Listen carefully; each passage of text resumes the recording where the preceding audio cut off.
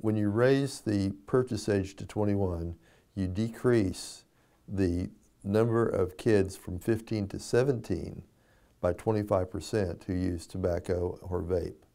And you decrease the uh, percentage down to 15 by 15% uh, between 18 and 21. So that's huge. That's a tremendous amount of kids that don't become addicted to nicotine.